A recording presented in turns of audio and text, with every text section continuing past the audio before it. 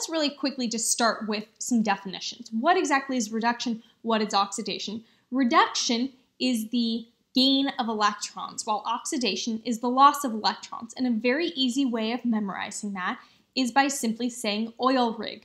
Oxidation is loss, reduction is gain. And so if you think about it, we're talking about electrons.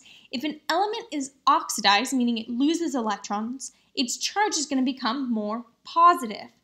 If an element is reduced, meaning it gains electrons, that means its charge is going to be more negative.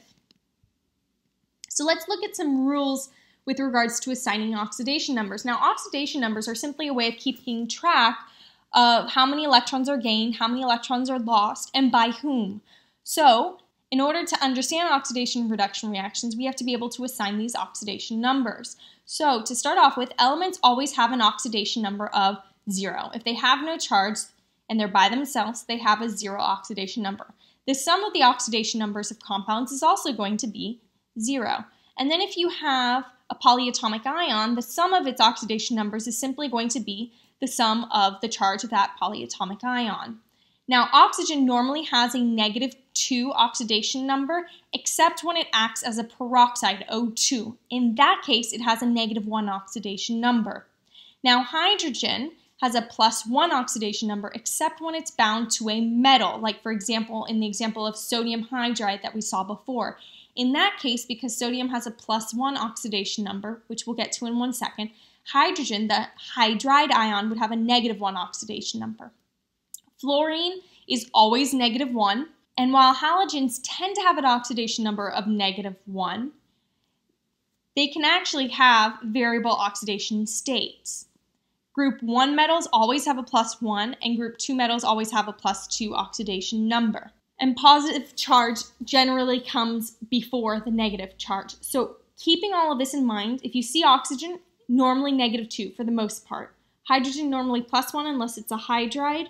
Fluorine norm always negative 1. Other halogens you can't 100% of the time tell, but they tend to be negative 1. Group 1 metals plus 1, group 2 metals plus 2 oxidation number. So let's look at in practice too. I've got potassium permanganate here. The first thing I look at always is oxygen. Oxygen is always minus 2 unless it's a peroxide and potassium next because it's always plus one. So now I need to determine the oxidation number of manganese. Well, that entire compound needs an oxidation number of zero overall. Well, oxygen is negative two, but there are four of them, so that's a total of negative eight. Potassium has a plus one, so in order for the overall oxidation number to be zero, manganese must have a plus seven oxidation number. Okay, for the next one, oxygen is always minus two again, and if you look at that, that means that the total oxidation number contributed by oxygen is negative 8. Well, here's a problem. This is a polyatomic ion with a 2 minus charge, meaning the overall oxidation number needs to be minus 2. Which means, since oxygen is overall minus 8, sulfur must be plus 6 in order to have an oxidation number of negative 2 for the entire polyatomic ion.